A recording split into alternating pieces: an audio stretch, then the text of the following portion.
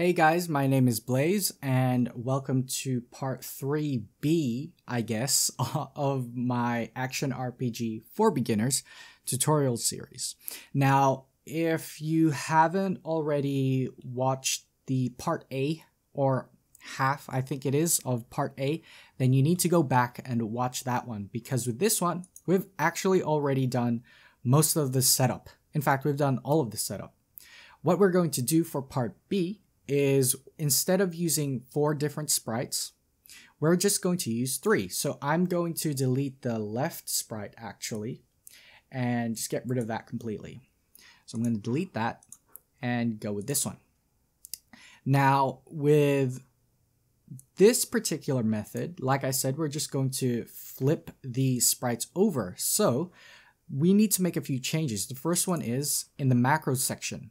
We need to do away with both left and right. And instead, we're just going to use the word, instead of right and instead of left, we're just going to use horizontal. Right, so horizontal meaning left and right. And I guess in a way, I'm just going to be going forward with a project using this method because I actually filmed it second. And to be absolutely honest with you guys, in old games, that's what people use. They flip the sprite instead of making a whole nother set.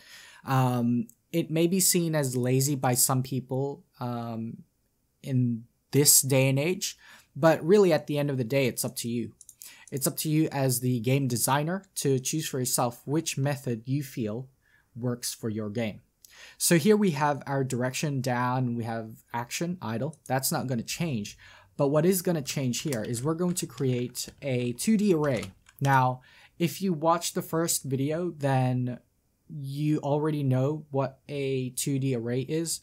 But for the people who switched over to watch this one, the 2D array is basically a an X and Y version of a one-dimensional array. So to keep a long story short, think of a two-dimensional array as having X and Y values and a regular one-dimensional array as just having a y value or just an x value. So I don't want to get too into that right now. We are going to go and do a part in this series where we go into a little bit more depth. But for now, let's just keep this where it is. So here with view, that's what I'm going to call my array. Give your array a name. In view, we're going to use the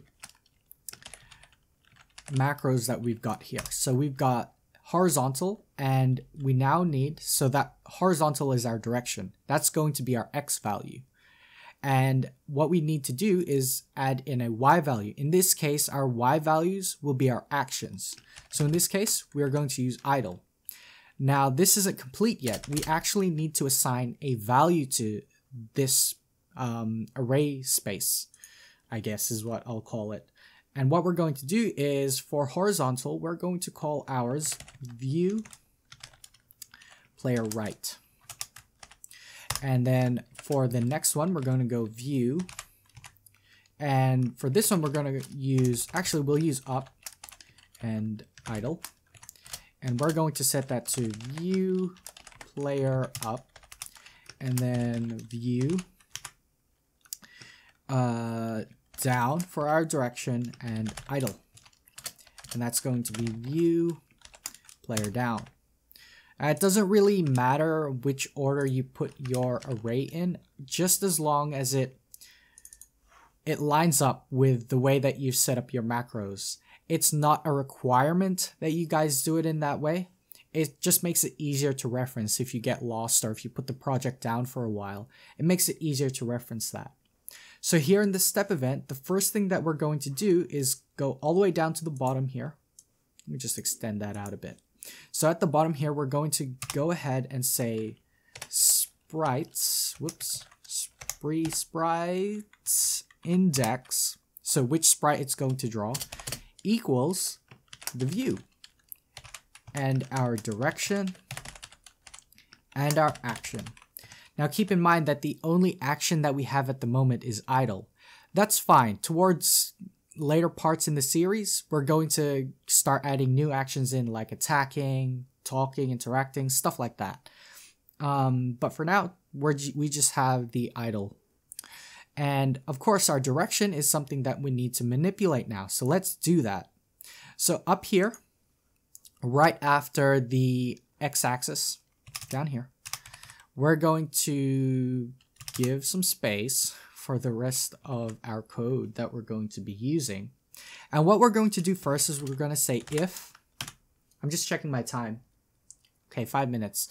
If our x-axis is not equal to zero, so basically if our x-axis is greater than or less than zero, we are going to say um, direction equals uh, horizontal. There we go. Done. So now we're telling the game that, hey, our sprite is going to be using the view player right.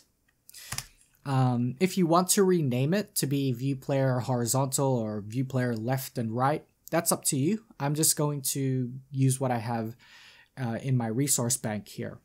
So direction equals horizontal. Now we need to make another check. So we need to say if uh, x-axis is less than zero. So basically, if we're going left, we need to say image x scale, and that's a built-in variable, I'm pretty sure it is. Yeah, it's a built-in variable. And basically what we're going to say is it's going to be negative 1. So we're just flipping the sprite. And then we have else if x axis is greater than 0, then image x scale is 1. So basically, what we're doing is if we're moving left, then we're telling the sprite, or we're telling the game object to say, hey, flip the sprite like to the opposite side, right? Flip it negative 1 on the x-axis. So it's going to flip that.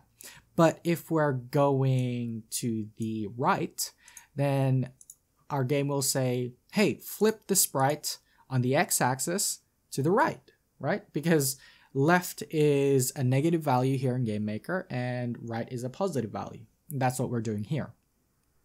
There is a shorter way to do this, but for the benefit of beginners, we're going to use this method for now. Now, if I have just else, then I can't say x-axis is greater than 0. I can, of course, say if, but what that does is it will flip it back to uh, negative 1 if we're not doing anything. So keep that in mind.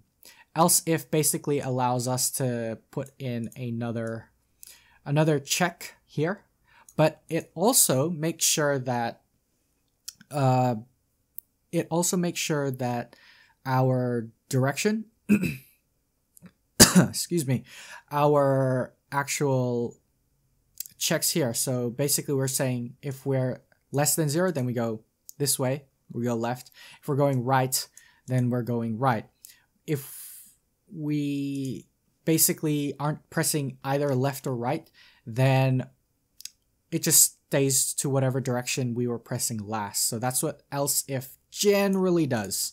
Uh, that took a lot more time than I expected to explain. But essentially, we're done. This is really the major difference between this method and method A, if you're coming from that video.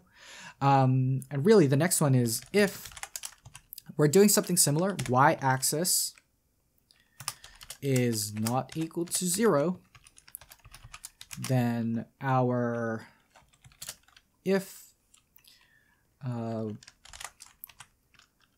y axis is greater than 0, then direction equals up.